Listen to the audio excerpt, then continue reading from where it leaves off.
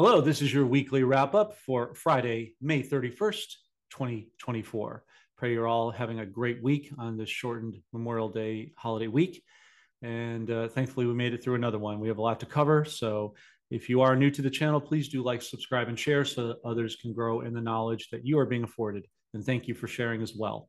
Okay, so this week's shows we had Mr. QC, the uh, Boeing whistleblower, and all the latest calamity that's going on within Boeing and the airline industry, respectively. We also had a show with good friend Nicholas Veniamin to round out a very uh, star-studded, packed month of guests.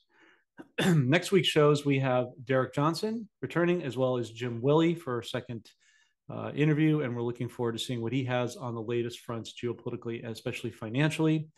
And then we're going to have good friend Andy Schectman from Miles Franklin back with good friend Ian Farrar Purium. And then dear Denise Bolin, who's had to reschedule due to some health issues, is now available for us uh, next week. So we look forward to reconnecting with her as always. Okay, here are the major headlines. A major explosion at a building this week in Youngstown, Ohio, reported multiple injuries at Chase Bank with an alleged gas leak. The cabinet of Thailand approved a letter to join BRICS this week. China is reportedly preparing large military fleets to invade Taiwan. Experts predict the invasion could conclude within an hour. This is according to, excuse me, the Gateway Pundit. Hamas has launched a large rocket barrage at Tel Aviv, Middle East, from the Middle East Spectator.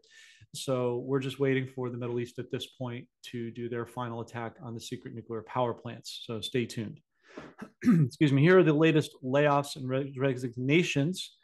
Uh, CEOs in particular, Rue 21 closing all 540 locations, Family Dollar is closing 600 plus stores, CVS closing 900 stores, Party City is closing all of its locations, Foot Locker is closing 400 locations nationwide, Bed Bath & Beyond is closing all 360 locations, Christmas tree shops are closing all of their stores nationwide.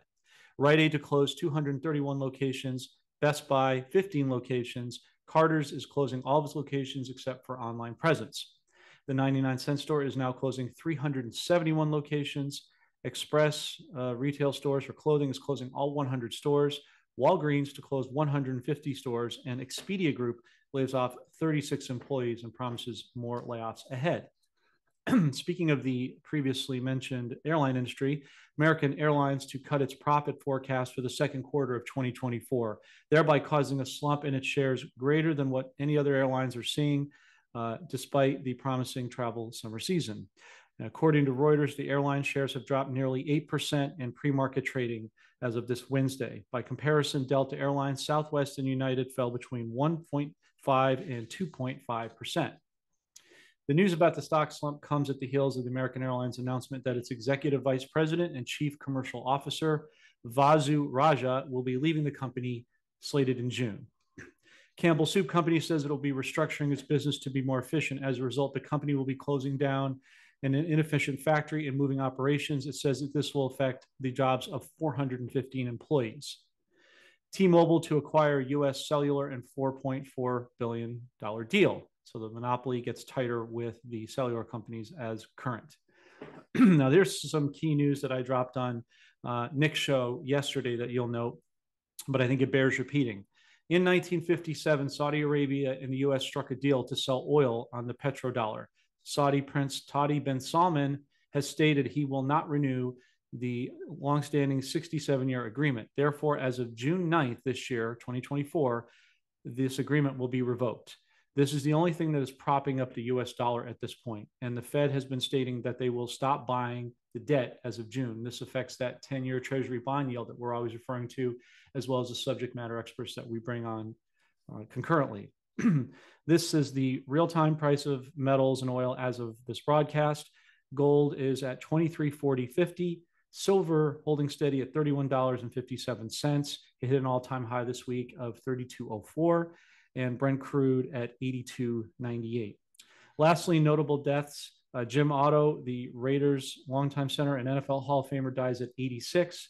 Legendary basketball player and broadcaster Bill Walton dies of cancer at age 71. Very sad on a personal note, as I'm a longtime Celtics fan and uh, he contributed to one of our championships. But we uh, we go we put out prayers to the families that are this uh, monumental loss. And lastly, just a simple commentary. Let's keep working together. Let's continue to lock arms and win this together. Division is what divides us. Unification is what unites us. Um, continue to work on your mindset to continue to remove negative thinking and negative toxic people and situations.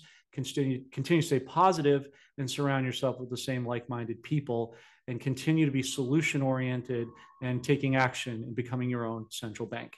That wraps it up for this session with the proviso of two more things, pardon me, that just came across my desk.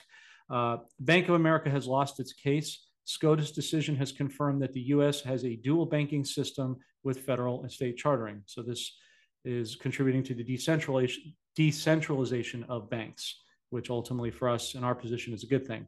And EU confirms as of January 2025 will be the start for Basel III global compliance. If anything else breaks out, we will come out and give that news to you immediately. Otherwise, have a great and safe weekend, and we'll see you for next week's shows and the wrap up. Take care. God bless.